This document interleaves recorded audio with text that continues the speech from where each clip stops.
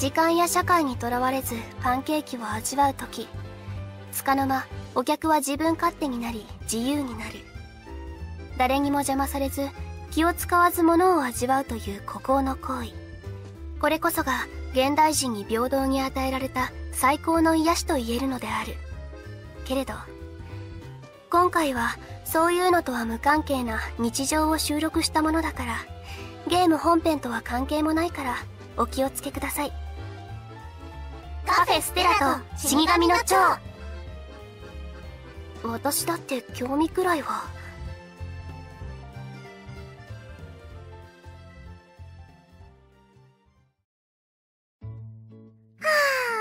あ、今日も働いたな。今日もお客さん多かったね。腕も足もパンパンだよ。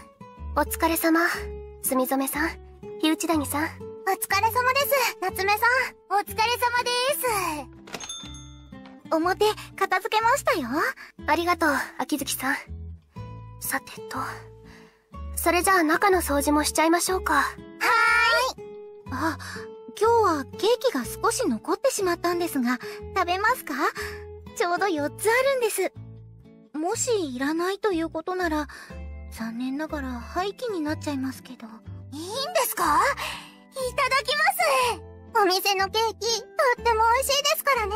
そうそう。こんなに美味しいのにもったいないですよ。じゃあ、すぐに準備しますね。ありがとうございます夏目さんはどうします？一緒に食べます？うーんまたまにはいっかうんいただくわかりました。では、準備しますね。美味しいケーキを食べられるのも、この店で働いてる楽しみの一つだよね。わかる。確かに美味しいけどさすがに毎日のように食べてたらカロリーがねそれは考えたくないです。ま美味しいものを美味しく食べるそれが重要よねそうですよ。お待たせしました。やったー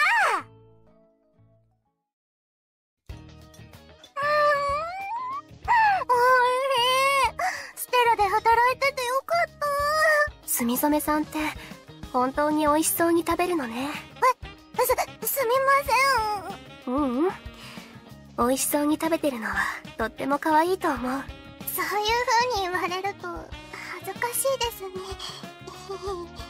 いつもお仕事ご苦労様です。みんなのおかげでお店を営業できてる本当にありがとうそういえば、このカフェをオープンさせようとしたのは、夏目先輩なんですよね。在学中なのに、バイトではなく、どうしてオープンさせたかったんですか？んそれはまあいろいろと。大人の事情ってやつ。もしかして、大学の講義に関係あるとか？昴生くんも、たまにレポートのためによくわかんない調べ事してたりしますけど、大学とはあんまり関係ないかな。気にしないで大学って、どんなところなんですか？あ、それ私も気になります。やっぱり大変なんですか？大変といえば大変だけど楽しようと思えばいくらでも楽できるかな要は自分次第だと思うああ、昴生くんも今は時間があるみたいですけど、去年までは朝からずっと大学に行ってました。今年で単位を9割以上取れるみたいです。高峰くん意外と真面目なんだ。もうちょっと適当にやってるのかと思ってた。昴生くんの場合、友達がいないからだと思いますけどね。こっちはこっちで意外と辛辣。墨染さんは高峰さんだけにはちょっと雰囲気変わりますね。そうですか？あんまり意識したことないですけどやっぱり幼馴染だからですかね。いい関係だと思うそういうの。さっきの質問の答えだけど大変かどうかはどういう学生生活を送りたいかによるんじゃない？ああなるほど。ちなみに大学といえばあの話は本当なんですか？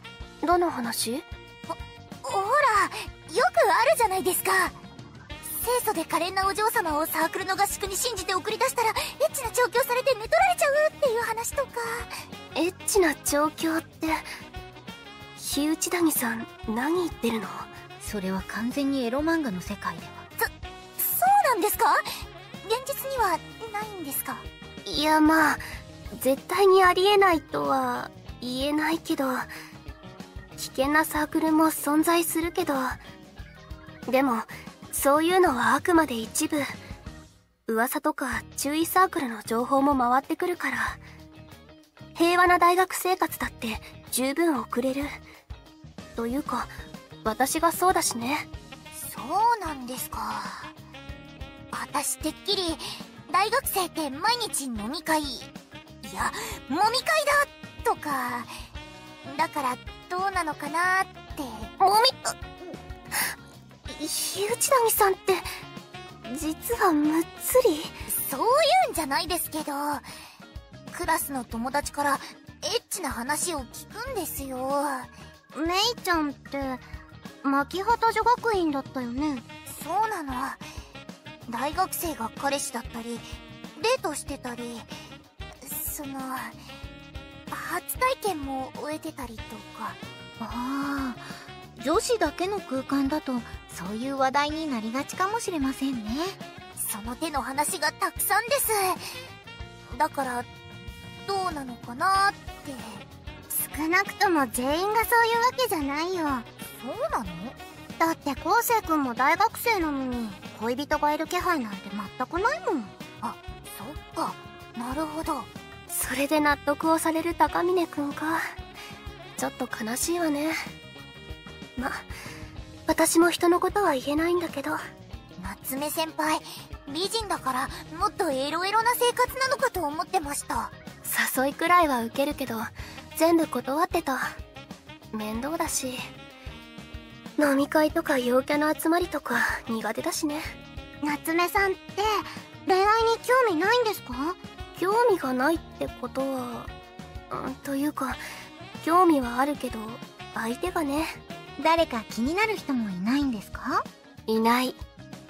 というかみんなは経験とかあるの？経験ですか？あいやせそういう直接的な意味ではなくて。おおセックスのことですね。はっきり言わないで。私がごまかしたのに。別にごまかすほどのことじゃないと思うんですけどねとりあえず私は「せ」の経験はないですね。真似をしないでほしいんだけど。私もないです。そういう経験。せはおろかキスとかも。だから真似しないでほしいな。私もないです。そういうのは。私最初に高峰君と墨染さんを見た時付き合ってるんだと思った。私と？昴生君が？ありませんよそんなこと。昴生君はなんていうか大きな弟？もちろん男の子だとは思ってますけどそういう目では見たことないですね。ふーんそっか。でもちょっと意外です。夏目さんはそういう経験あると思ってました。あ初体験かどうかは別にして男の人とお付き合いとかした経験って意味ですよ。どうして？とても大人っぽいから。あそれわかる。そう？自分ではそんな風には思ってないんだけど。美人で落ち着いててなんか色っぽい。そういうの全部ひっくるめて大人っぽいです。そうそう。私が男の子なら確実に好きになってますよ。どうなんだろう。あんまり気にしてないからそういう相手が見つからないのはさっき言った通り。でもお誘いはあるんじゃないですか？そりゃまあ誘われたことはあるけど。だったらやっぱりモテてるってことですよ。そうなのかな？でも全部断ってるしね。そういう相手がいないのはさっき言った通り。のぞみさんは共学に通っているんですよね。クラスの中で付き合ったりする人はいないんですか？彼氏のいる友達はいますけど私はあんまりずっと大きな弟の世話をしてきたせいなのかクラスの男の子は子供にしか見えないんですよね。実際、昴生君よりも年下だから、特に。なるほど。もちろん私も、興味はあるんですけどね。だから、大人な夏目さんからお話を聞いてみたかったんですけど。人付き合いもいい方じゃないから、恋愛話とかもあんまりしたことないし。そういう意味なら、木内谷さんの方が知ってるんじゃない？クラスメイトから色々と話を聞いてるんでしょ？そりゃあ、聞くだけなら聞いてはいますけどね。ちなみに、その、実際に経験した子の話とかも、聞くの？実際にって言うと、のお願いだからそれもうやめて。すみません。そうですね。話だけならよく聞きます。本当かどうかは知らないですけど、デートとか、キスとか、その、先の話、なんかも。逆に聞いてもいい？その、は、初めてって、本当に痛いとか言ってた？ふーん。意外と夏目さんも興味津々なんですね。う、うるさいな。そりゃ興味くらいはあるでしょ。自分にも関わりがあるかもしれないし。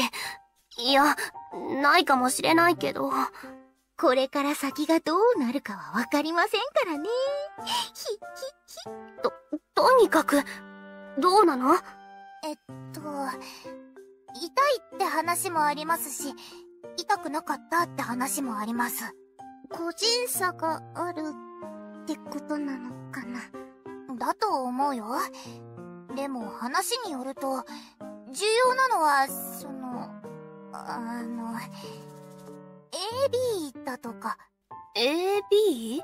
だから、その、ABC の A と B。キスとペッティングですね。そうはっきり言われると、恥ずかしいですね。でしょ？私の気持ちがわかるでしょ？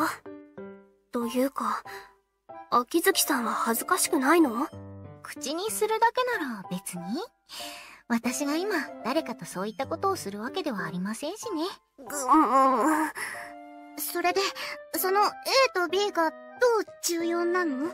えっとね、痛みを感じないで済むように、その、ん濡らすのが重要とか、なんとかで、A と B をしっかりして、こう、濡らしておくと痛みが減るって言ってました。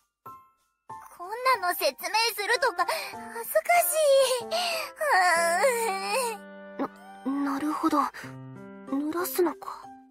でも、具体的にどれくらいなら大丈夫とか、あるんでしょうか？何ミリリットル以上分泌したら、とか？ええそんなの測りながらとか嫌だな。そんな具体的な数字とかは、話題に出てなかったですね、多分。だとすると、ぬるぬるなくらいでしょうか？ベタベタとかじゃないですか？ぐしょぐしょかもしれないよ。いや、ぐっちょんぐっちょんかもしれない。ぐっちょんぐっちょんか。なんかもう想像がつかない。私も。言っててなんだけど、私も全然想像できてないから。なんか、そういう話って聞けば聞くほど疑問が増えていきそう。なんか怖い。そうなんですよ。でも、あんまり細かく聞くのも、なんか恥ずかしくて。そうだよね食いつきすぎるとエッチな子だって思われちゃいそうだもんね。結局のところ最終的には相手の優しさが重要ということかもしれませんね。キスもペッティングも相手がいてこその行為なわけですから。そりゃそうなんだけど、うん何度も言うけど、そうやってはっきり言わないで。私は気にしないですけど、聞いてる方も恥ずかしいの。夏目さんって意外とウブですよね。うるさい。でも、カンナさんの言う通りですね。相手が優しくしてくれるのが一番重要ですね。そうだね。となると、もしかして、そういうのに慣れた相手の方がいいのかな慣れた相手か。うーん。夏目さん、今誰を思い浮かべてうなったんですか？あ、べ、別に、うなってないし、誰も思い浮かべたりしてないし。ええー、そうですか？今具体的なことを考えてそうでしたけど。それは秋月さんの気のせいだから。も、もういいでしょ？ほら、いつまでも話してないで、早くケーキ食べて片付けしちゃわないと。そ、そうですね。いつまでも話してたら片付かないですからね。この辺にしてお店を早く閉めちゃいましょう。わかりました。でも、夏目さん、顔が真っ赤ですよ。ぐむむむ。すみません。もう言いません。はん、はん、美味しかった。ごちそうさまでした。ごちそうさまです。私もごちそうさまです。ごちそうさまでした。それじゃあ、話はこれで終了。掃除しましょう。はーい。